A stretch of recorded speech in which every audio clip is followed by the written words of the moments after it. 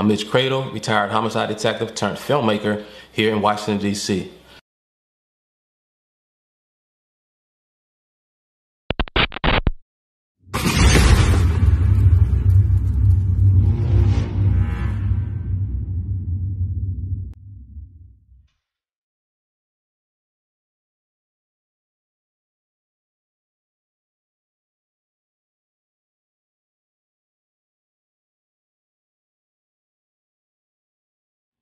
April 6, 2003 is the day I, I was at home relaxing and I got a phone call from my sergeant. He told me we had a triple murder that just occurred at Colonel Brooks Tavern located in the Brookland section of Washington, D.C. I got myself together, I jumped in my vehicle, and I headed towards the city. While en route, I got another phone call and I was told that the manager was there and he survived the attack. Right after that, I called my friend Deborah, she's a prosecutor. We've been working together for years. I most definitely wanted her there just in case we needed anything, and I wanted her to be part of the case. She's the prosecutor I've always chose to work on my cases. So once I get there, it's so many people there. I talked to the first officer on the scene. I talked to my sergeant. I just wanted to just to find out what was going on. They told me where the manager was sitting. Before talking to that manager, I wanted to go inside the restaurant to see the crime scene. Therefore, I went inside and I saw officers standing near the walk-in freezer. I walk over there and looked in, shell casings all on the floor, blood everywhere. And it was just obvious that everything occurred right there. But I still walked around the rest of the restaurant just in case anything may have been left. Um, sometimes suspects leave things behind. And I just wanted just to have a feel for the place before I go talk to the manager who most definitely is going to explain everything to me. So when I got back downstairs from the, the office part of the um, restaurant, someone gave me the identification cards of the victims because by the time I got there, the victims were gone. I had no idea who the victims were. So they gave me three ID cards. I looked at the first one, Naomi Payne. Um, I'm not familiar with her, but it's, it's, sad that, you know, we're there and here it is, a young lady, and, and you know, it's, it's wow. Sometimes you just have a different feeling when, when, when young ladies are, murdered. Young ladies, children, elderly. It's just, it's just, it's just, it's just, a, it's, it's terrible for anyone to be murdered. But oh wow, I can't even begin to explain.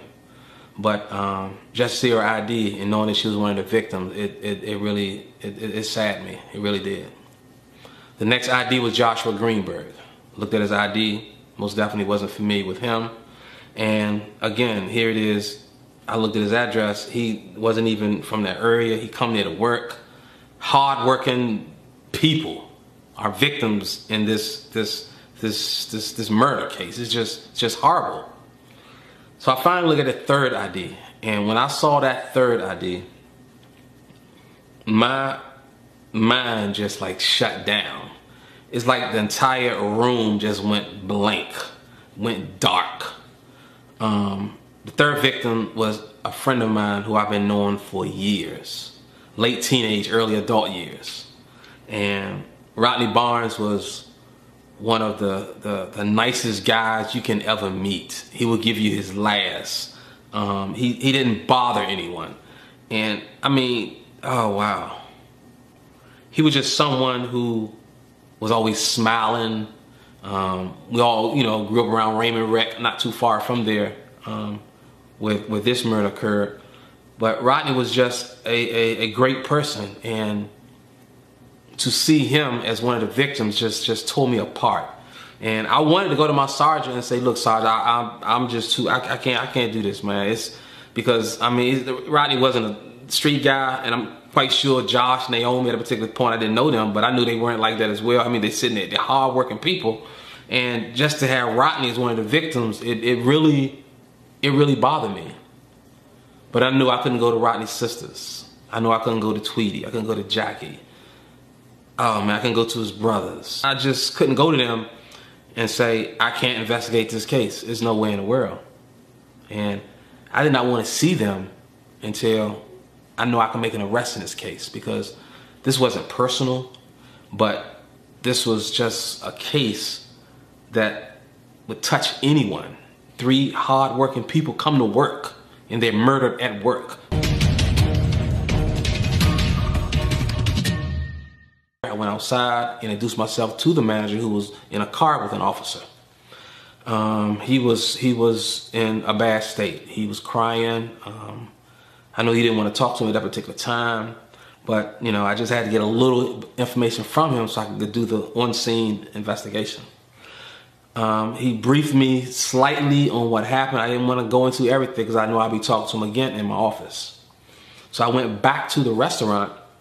I would talk to the evidence technician to let him know exactly what the manager told me about what went on here. So once I finished talking to those guys, I went back outside. We did some canvassing in the area, knocked on some doors. We walked around to see if anyone may have dropped anything. We, we traveled the, the, the flight direction that the manager said the, the suspects left just to see if we get anything. I mean, just it's just things you do. You want to cover all your bases. And we did, uh, uh, wow, we did a, a, hell of a job with the cameras in that particular area. But um, at that particular time, no information was gathered at all. Once we finished doing that, we, we dealt with a few more things on the crime scene before it was time to go to the office to now deal with the manager. So I had the manager ride with me to my office. Now, this is a couple hours later, but still on crime scenes, you most definitely want to take your time before you rush out of there just in case you, you miss anything. Once we're downtown, got the manager inside of an interview room to make him comfortable because I knew right then and there was going to be a long day. He may not have known that, but I knew it was going to be a long day. We're talking about three victims, one survivor. It's going to be a very long day. And normally with establishments, um, when you talk about robberies, it's normally an inside job because people who are familiar with the places, those to be the ones who are going to be involved, whether they set it up or they may have been there. So those are some of the things I just wanted to get out of from the managers, just some of the history of the place. Um, and most definitely, first of all, let's have an extensive interview as far as what happened. So we talked about what happened, and he told me the same thing over and over. I asked him the same thing many different ways, and he kept telling me the same thing over and over. I don't care how many times I tried to switch things around to get information from him, he kept answering it the same way over and over. At that particular time, I still wasn't convinced that he wasn't involved. So we sort of put pressure on him. We picked up the pace. We put the heat on him, as you could say, and we could see it was bothering him. And I know he wasn't in the right state of mind to be dealing with what we were doing with him at that particular time, but we are there investigating a triple homicide. And we don't have time for people feelings at that particular time. And we wanted to make sure that if he's a witness, he's a witness and he's not involved. So I know he was getting frustrated, and I'm quite sure the pressure and just the things we did in talking to him, I'm quite sure with the mental state that he was already in, there's no doubt in my mind that it bothered him. I'm quite sure it, it, it would have bothered anyone. He was he was with us from that time. Police arrived on the scene into going on into the next, almost the next morning. And when the owner of the restaurant came there, he sort of saved him because um, we were not ready to let him go. With homicide cases, we, we, we're thorough. Um, we, we try to check things out. We just don't want to jump to conclusions. We don't, but we don't want to miss anything. So that's why he was there for so long. Um, and I know most definitely he didn't want to be there. And when he left that office, he was not in good shape. I could tell that we we drove him. We drove him to that point that will probably stick with him forever. And it wasn't something that we done intentionally. We were just at that particular time not sure if he was a suspect or a witness. So once we finished with the manager, we continued to just look over some of the employee records that the owner left for us. And before I get into more about the manager, um, I'm going to let you hear from him and then I will talk more about him. I was the first person there. And for some reason, I didn't want to go in the building by myself. So I was like, okay. So I waited on the, um, by the wall, um, going into the back door. Um, and as I waited, a Metro police officer came by, um, walking, and we waved good morning um, to each other. And then I, I can't remember, I think Josh was the first person to arrive um, to work. And then once he arrived, we went inside, we made coffee. Josh proceeded to tell me that he think he met the one, um, the one that he was going to marry. And I said, I thought you met her last weekend. And he said, no, that wasn't the one. But this weekend, she's definitely the one. And so um, my friend Lamar didn't know, but we was planning a huge surprise party for him that day. So Josh was gonna make crab cakes for me, and I told Josh I never bake crab cakes in the oven, um, and he was like, "It's gonna be really simple." And then I can't remember um, who came in next. It was Rodney or Naomi? Um, Naomi was gonna make like potato salad or something, and she was also gonna attend the party. And Josh, I'm sorry, Rodney had bought me a huge bottle of Grey Goose for the party as well. Um, so we all had coffee, we chatted and laughed. Um, everybody went to work. I proceeded to the office um, to count the, you know, go the manager sheets, anything from the night before, and then to count the proceeds from the night before to make sure the manager dropped what was supposed to be dropped. um, I got into the office. I opened the safe. I turned the radio on, which automatically turned on the gospel station. Um, proceeded to open the safe, took the money out of the safe, and as I was taking the money out of the safe, as clear as you could hear my voice, something said, "Look," and I looked up, and I saw the dudes walking in the door, pulling down mask, mask like mask halfway down, but then it was pulled all the way down. I went into um, panic mode, so I threw the money that I had, all that I could, back in the safe, um, and I remember reaching for the phone, trying to dial 911, but I couldn't. Um, um, I had a set of keys on the side of me, which had about 50 keys on it, um, because it was to every door. Um, I ran to the hallway, and there was a door to the rooftop. And on my very first try, I got the right key to open that door. I went on the rooftop, and I locked the door behind me, and I just knelt and I just began to pray. I was like, Jesus, Jesus, Jesus. I just didn't know what to do. I was just in a state of panic. It seemed like forever that I was on the rooftop. And then I saw two, two, two people, I think, come out the back door. And they look back at the roof, and it seemed like they looked directly at me. And when they looked at me, I said, it's now or never. So I opened the door, ran ran in the downstairs, and ran to the other building. Carter Brooks was two buildings. It was Brooks and Island Gems. I locked myself in the other building, and I called 911, and I told them we had just been robbed. Um, and again, what seemed like forever, uh, they told me the police um, were outside. Could I come outside? And I said, absolutely not.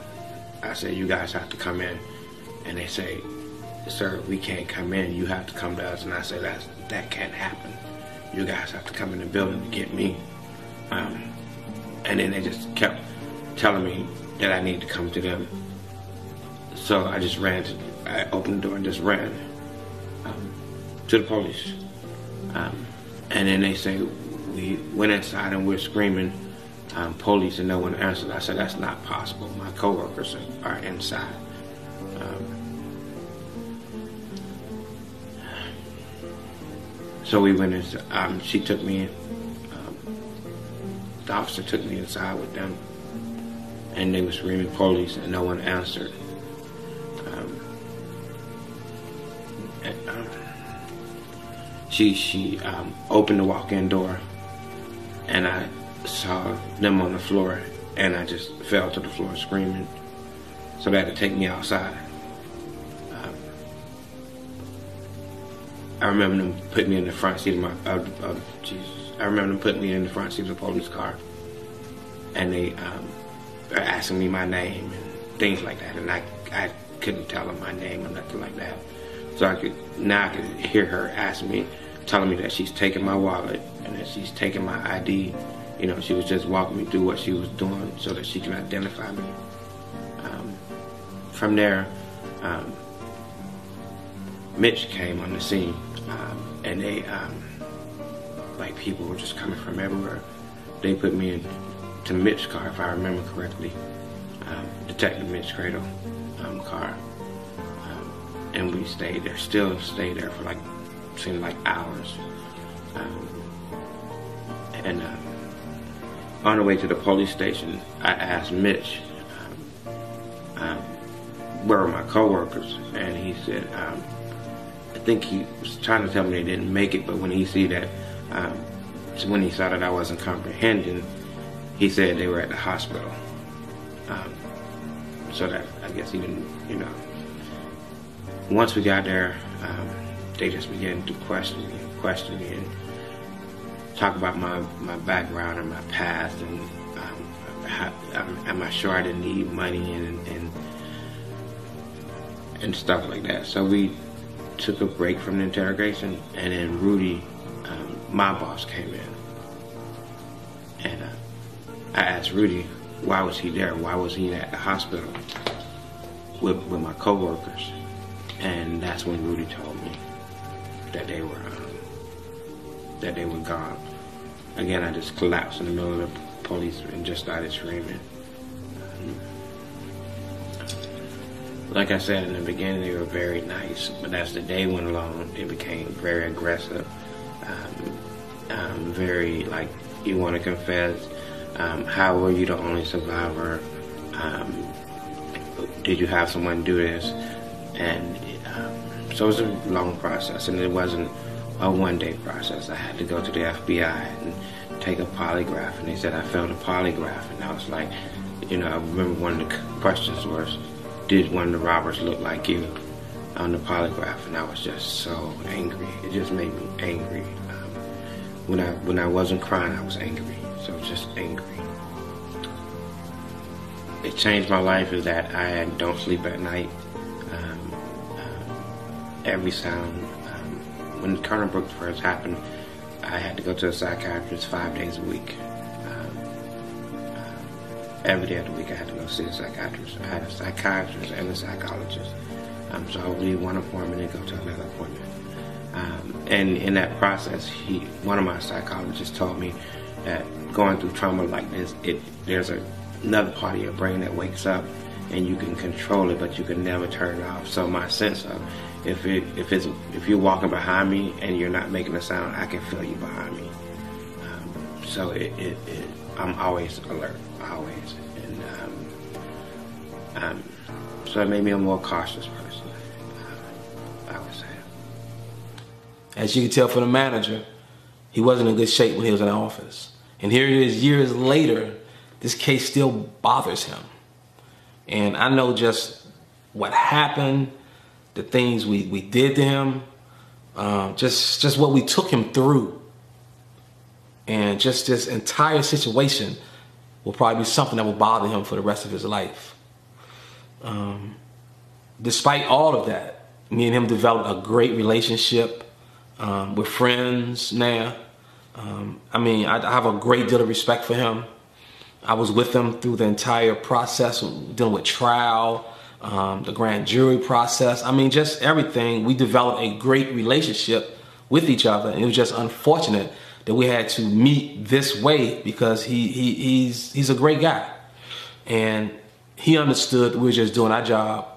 And if it was his family member or anyone else's family member, we would have done the same thing because as a homicide detective, you have to be thorough. You just cannot let things go past you so easily. You have to investigate everything and you don't rule anything out until you're definite on the direction you're going and you have the people who you're trying to um, arrest in reference to your investigation. So I most definitely um, apologize to him after all of that. And as I just stated, we're real good friends. Carlos, the manager, then told you what happened. Um, I talk about some of the things we did on the crime scene. In the next episode, I'm gonna talk about the investigation, how we caught the suspects. So stay tuned. Rodney was a fun-loving person. He loved everybody around him. He would do everything for anyone. He would give you the last dime in his pocket. He loved his son very much. We talk, me and my son talk about this every day. He has a granddaughter he would never get to see. And like the rest of them that's locked up, they get to see their family, their children, and their grandchildren. How much me and my son love him and cared about him.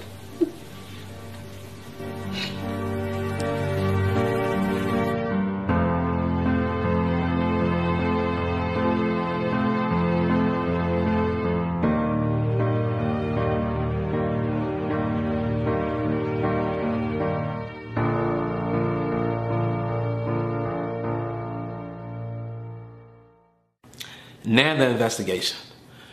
For the first couple of months, all of April, all of May, and part of June, we didn't get anything. We interviewed a lot of the former employees, interviewed a lot of the current employees, and we still didn't get anything. No one had a piece of information that could help anyone. But we stayed on the case. We continued to just look at records. We continued to talk to neighbors we continue to just just look at other robberies in the DC area that could have been similar. Wow, we, we, we did so much for that first two and a half months or whatever it was, and we didn't get anything. So one day in June, I received a phone call from this young man. He sounded like he's a little disturbed on the telephone, like something was bothering him. And um, he asked for me, I acknowledged who I was, and um, he told me they had some information on the case. I most definitely wanted to meet him right away. I didn't want to hear what he had to say. I wanted to meet him. And but he was it was just the way he was talking, um, not in a way that he wasn't sure, but just there was a concern in his voice. And I asked him, was he okay? He said, yeah, he was okay, but something was bothering him. I said, what's bothering you? I mean, is that, do have something to do with this case? Now I'm thinking he may be involved and he want to just like turn himself in. But he said, you know, I know who committed the, the murders and it's, it's bothering me and I can't sleep. It's, it's heavy on my mind. I'm a Christian guy and this is, this is just tearing me apart. I need to talk to someone about this. So I said, well, look, let's talk. Let's get together. We can meet somewhere. And he said, no, I don't know. I'm not, I'm not, I'm not sure about this. Uh, he said, I'll call you back. And he just hung up the telephone. We didn't have the technology to trace the phone call. This, this old stuff. We didn't have anything back then. So what happens is um, I'm just wait for this phone call to come back. But in the, in the time being, we're still doing the other things in reference to investigating the case. But the following month, I get the call again. I'm surprised he was able to get through because during that time period, our phones were all messed up in the office and a lot of phone calls we just were not receiving. But he called back, he got me, it was, that was just God sent. So we talked again, and he still sound the same, still sound concerned. And still, I'm not sure if this guy is involved or not, just how he sounds. And he said, um, now he wants to meet, he, he want to talk. So we selected a location where to meet. We got together, and I can still see that something is bothering him. So he went on to tell me that he knows the guys involved. So I asked him who, and he gave me the names. He said Tyree, Joel, Roderick, and David. Some guys that he knew from back in the day as they were growing up in, in a certain neighborhood. So I was like, wow, well, how do you know they're involved?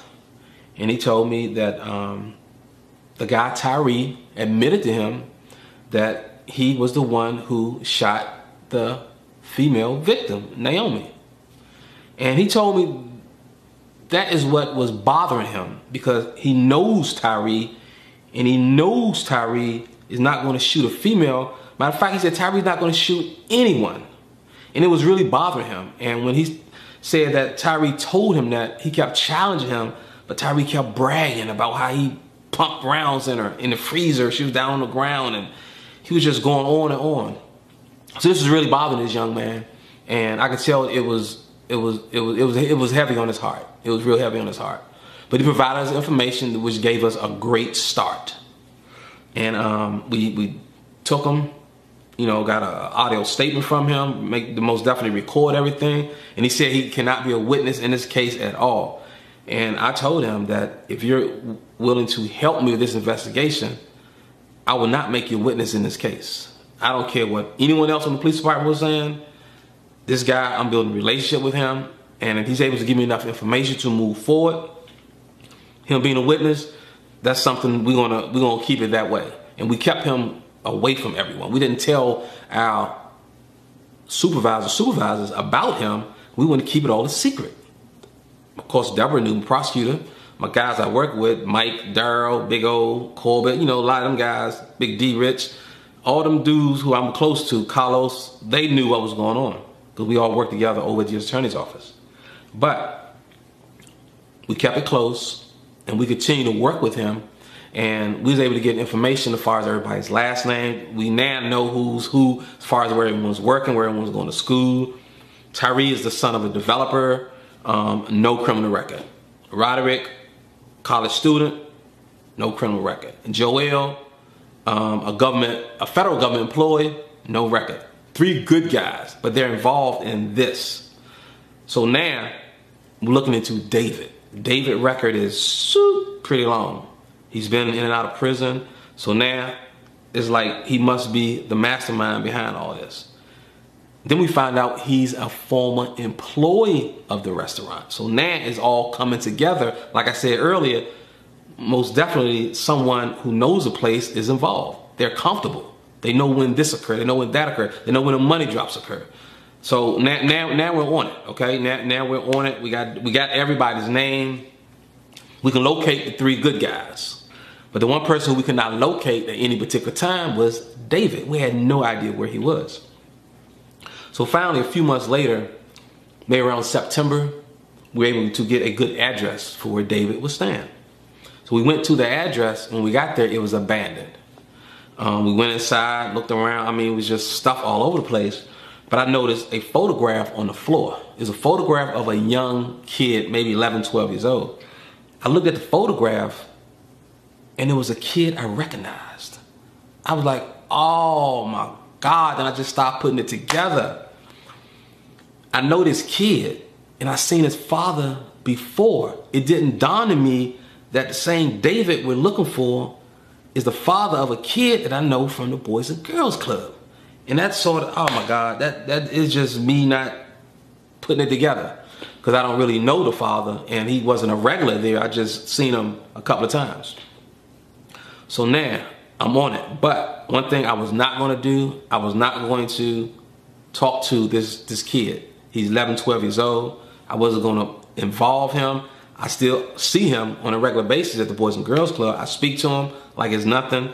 Um, I didn't want him to know anything. I didn't want his mother to know anything. It's I know who I'm looking for, so I did not have to include this young kid in my investigation.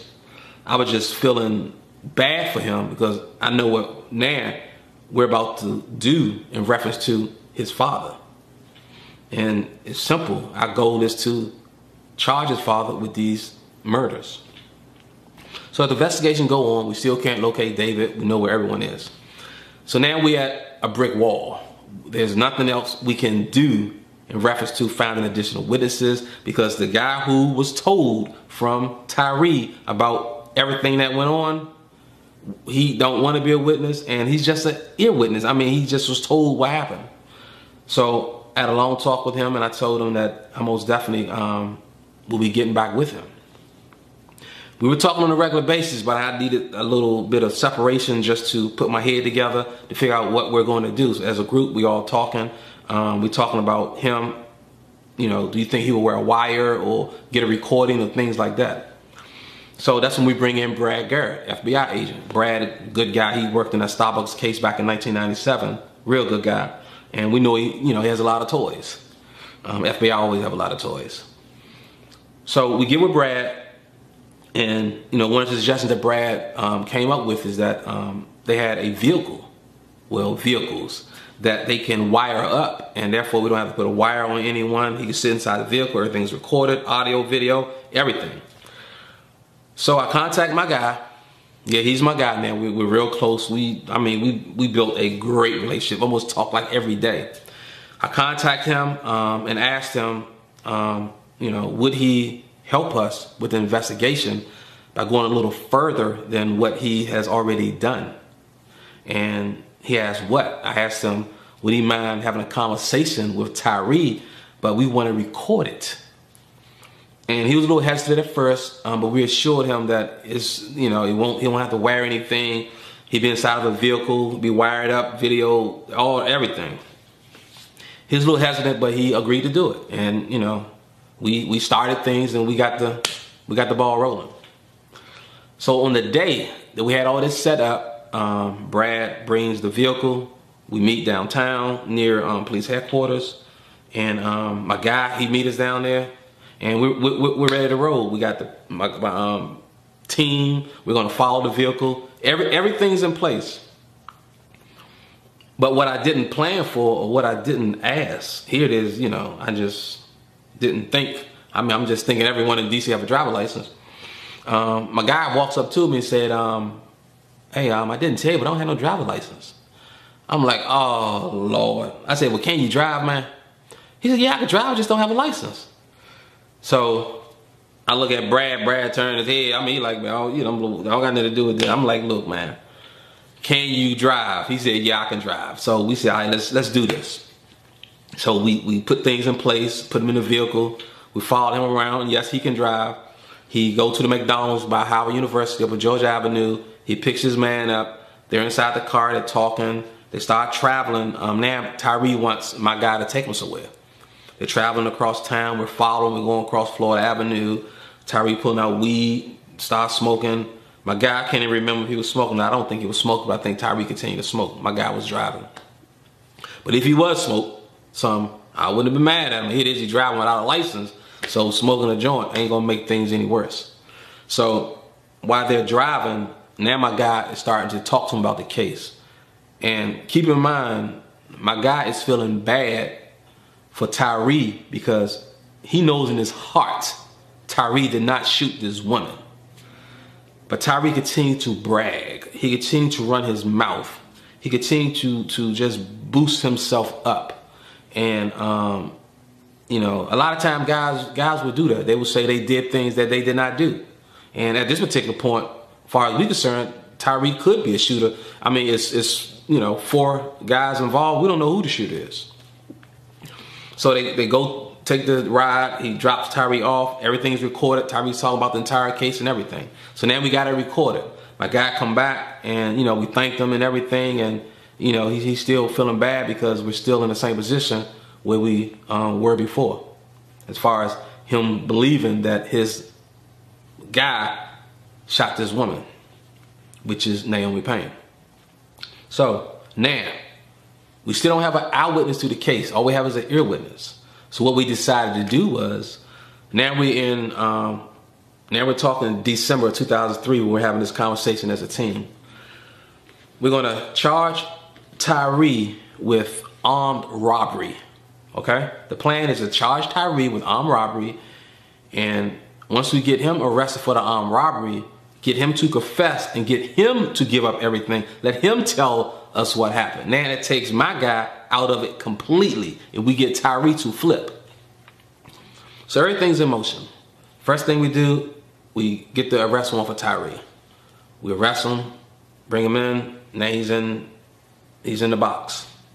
Um, my, my man Mike works him. Mike's get a confession from him. And then we know everything that happened. The weekend this occurred, Final Four weekend is crowded in Colonel's Brooks. David Roderick is there, casing the place out. A lot of people is there to see a lot of money being spent. Well, they thought it was a lot of money, but people using credit card, they think a lot of cash is being turned in. So that's why they went there that Sunday morning to rob it. And in doing so, Tyree and Joel are the lookouts. Roderick and David go inside the freezer. And what happens is they hear the gunshots inside the freezer. And Tyree find out later that Naomi recognized David. She knows David, he's a former employee there. And that's when David said, we have to kill him. And they killed all three inside the freezer, David and Roderick. Everyone leaves out, everyone's gone. All they got is $3,000 from the restaurant. They divided $3,000 four ways, which is no money at all.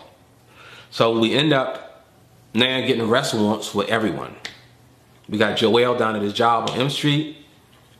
Got Roderick out in Baltimore. My man D Rich and Corbett went out there. My man Jeff handled uh, Jeff May. I think it was Jeff Mayberry and Collins. I'm not sure. But they handled the um, M Street arrest. We got everybody in. Joel come in, he confessed. Roderick out in Baltimore being a hard head. Of course, that's you know, you think he's smarter than everybody. He, he doesn't give us anything, but it, at this point, it doesn't matter. Now, we have no idea where David is. The next morning, after all of this, David must have got, I guess, from the news that now we done locked up Joel, we done locked up Tyree, now we done locked up Roderick. So now David is, is gone. So we get information that he's down in Colonial Beach, Virginia. We jump into the car. Um, Butch and them jump into the, the warrant squad. People jump into the helicopter. We all flying down Colonial Beach, Virginia, which is just south of Richmond.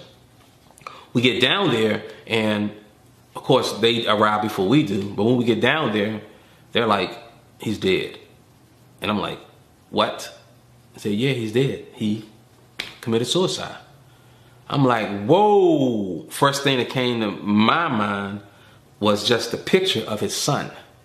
Here it is, he just committed a triple murder, and he just committed suicide. So I said, where, where, where is he? They said he's upstairs. So I went upstairs to the bathroom, and there, in the tub, was his body in a pool of blood. And it was, oh wow, I mean, he talking from April the 6th, 2003 until January 2004, we finally um, brought the case to, to close, to closure. And after that, trial process went on. Um, guys found guilty, pled guilty, found guilty. Uh, it just um, didn't seem the same because David, the mastermind, was not sitting there. And those three guys, the college student, the government employee, the, the young developer, were the ones that took the heat for something that someone else brought them into, and that's how um, we closed the case.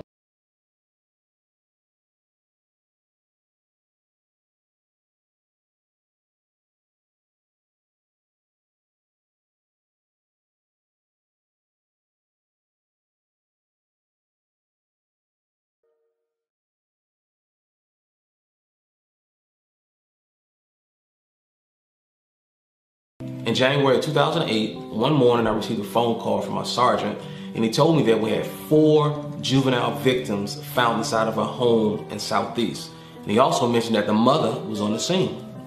Right away, I got my partner, Daryl Richmond. We went to the vehicle. While en route, we saw Detective Jeff Williams and we headed over to the crime scene. While en route, um, there was a discussion between us on exactly who's going to handle the case. For my squad, I was up for the next case, um, being in the major case, cold case unit. But then we had another unit that handled baby deaths and murders involving young people. So once we got on the scene, it was just chaotic. I mean, police was everywhere, people, the mayor, the chief of police. I saw a lot of people going in and out of the house, and right there I was like, that's that's a complete no-no, that's a crime scene. But I guess everyone wanted to see the bodies or see what's going on. And I saw United States Marshals, a lot of their officers were there as well. So I went to our commander. I said, Commander, who case is this going to be? And he was hesitant. And, you know, I mentioned to him that, you know, I had Daryl Richmond, I had Jeff Williams with me. I mean, you know, we, you know, I consider those heavy hitters. And he looked at me and he said, You got it. I said, Cool. So right away, I went to the house. I said, everyone out the house. The only people should be in this house is the mobile crime technicians. Okay, I think crime scene search was there from the nearby 7th district, but this case is gonna be handled by mobile crime. Okay, so once we got the house clear, Darrell Richmond, you this is you, this is your baby, you do the scene. So Darrell Richmond is gonna process the scene from our office, and mobile crime is gonna handle things from their perspective. Now, Jeff Williams, I want him to handle the, the, the, the, the mother. So immediately we find out that the mother has been transported to um, the violent crime branch over on Pennsylvania Avenue. That's where our homicide unit, um, that's where they work. And that was another no-no because the case was going to be handled downtown by either my office or the baby death squad office. So while we started the on-scene investigation, the first thing I did was I had the police officers from 7th District to move the yellow tape to both ends of the block. I mean, everyone, including the mayor, chief of police, I want everyone behind the yellow tape at both ends of the block. In training, I was told that if you're the homicide, you're, if you're the lead homicide detective on a scene, you're like the chief of police. I wasn't trying to be arrogant. I wasn't trying to, throw shade at anyone. I wasn't trying to be bossy. We needed order on that scene. I've seen situations when there's no order, there's problems. So I immediately asked everybody to get back behind the yellow tape. The mayor went, the chief went, everyone else went on the scene. The marshal service they stayed. I needed to talk to them, find out why they were there. The, some of the officers stayed to help protect the you know inside area where we were, right there in front of the house. And I just wanted to make sure that we were not going to make any mistakes on this crime scene. I talked to the marshal service. Oh wow. Um, one of the guys explained to me how they went there for a normal eviction. And when they got to the house, the mother, Banita Jacks, would not allow them inside the house. So they had to force their way inside. Once they got inside, they said they smelled like foul meat.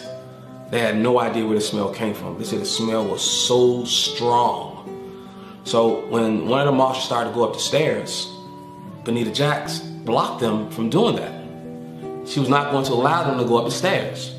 There's nothing downstairs, no furniture, there's nothing. So they wanted to go upstairs to see if there was anyone else in the house. So they had to move her out the way forcefully. They went up the stairs. As soon as they got up to the top of the stairs, there's a room right in front of it. They walk in there, boom. It just disturbed them. They saw three young victims lying unconsciously on the floor.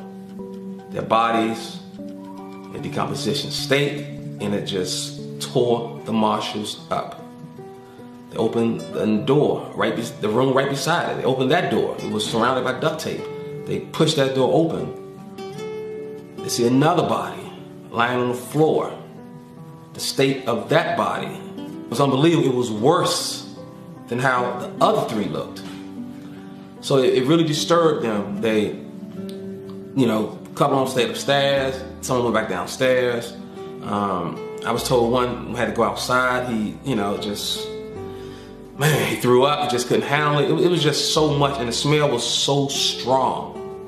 So we got all the marshals together. We had them go down to our office so we could take statements from them in reference to what happened, what they saw. I mean, just everything. So now while I'm there on the scene with Detective Richmond and the mobile crime technicians, now it was time for me to go in and take a look around. As I stated, downstairs, first floor, completely empty, no furniture, nowhere. I mean, the kitchen was just disarray. I mean, just trash all over the place. You would think it's an abandoned house. Most definitely no condition for any children to be living in. I go up to the stairs. As I start walking up the steps, slowly, I could just smell what the marshals were describing. The smell was just so strong. Just smell of decomp, as we would say in homicide. I get to top of the stairs and I walk towards the room where the marshals first went into.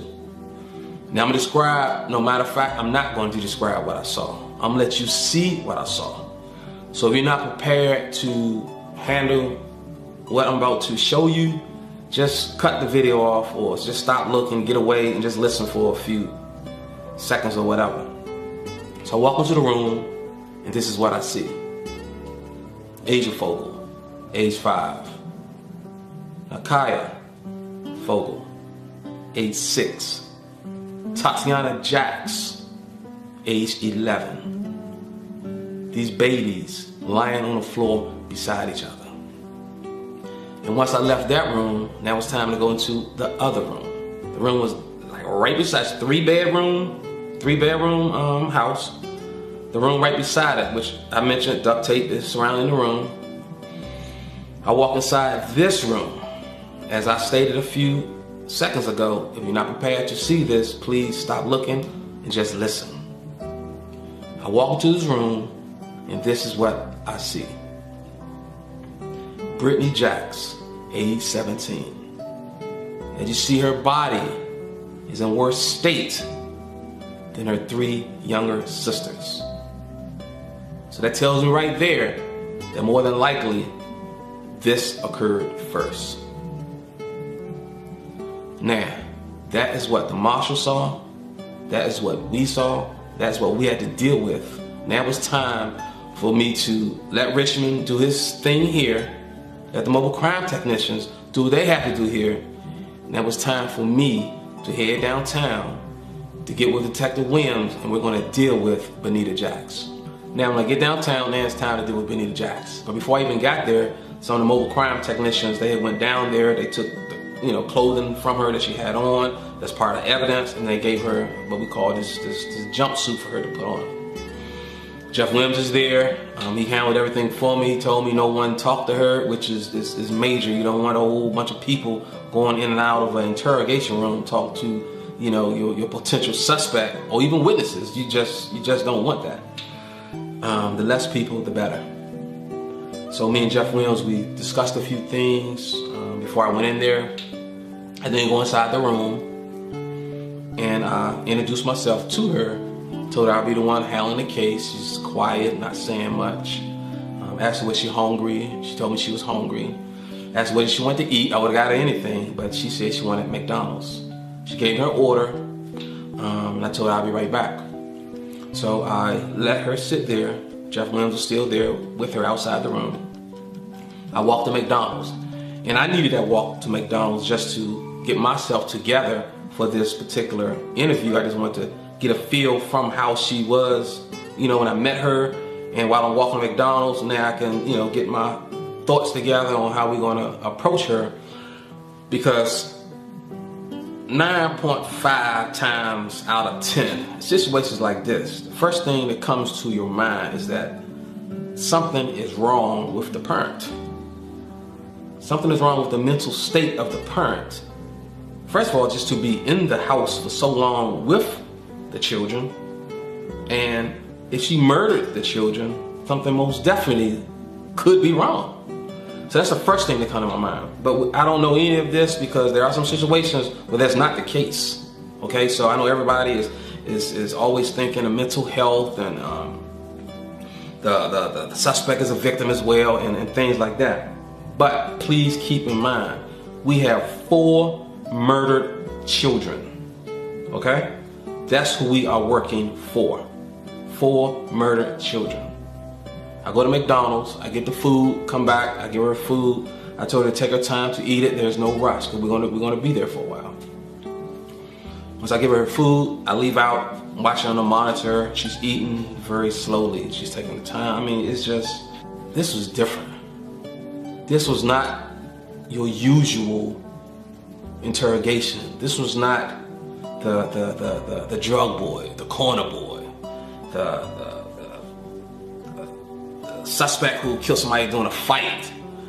The, it, it was none of that. This is a mother who more than likely either murdered her four children or is part of what happened to her four children. We're, just so much was going on through my mind at this particular time it was just something I had to um, get myself ready for. So instead of me just going over everything that went on detail by detail, because there's no way where I can cover everything in this, this video, I'm gonna let you hear from the mother in reference to some of the things that she said during this interrogation. Now you said that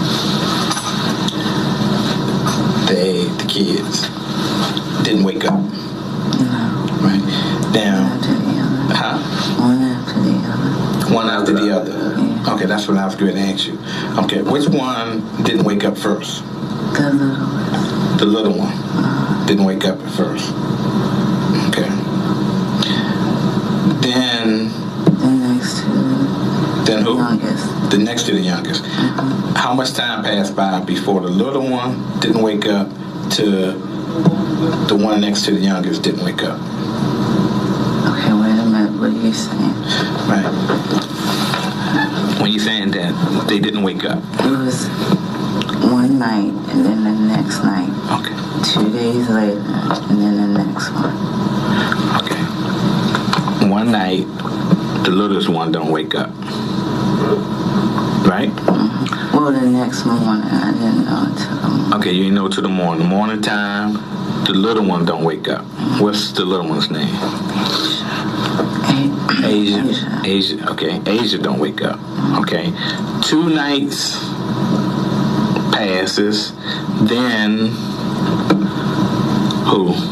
No, the next night, The next night we go to sleep, we go to sleep. wake up. Nakaya, Nakaya don't wake up. yeah. Okay. Two nights pass, Two nights pass. and then they go to sleep, and the next morning, Tatiana doesn't wake up. Okay. Tatiana. Tatiana. Oh. Okay. She don't wake up. Okay. Then. How long after does I'm not sure how, long mm-hmm. it was before the oldest one. I'm not sure. You're not sure. Mm-hmm. But the oldest one, Brittany, was the last one mm-hmm. to not to wake up. Okay. And what did you think happened to him? Like, like I was telling them, I, I didn't understand exactly what happened. About it and it just didn't make any sense to me. And during this interrogation, she started talking about demons. She started talking about Brittany being Jezebel.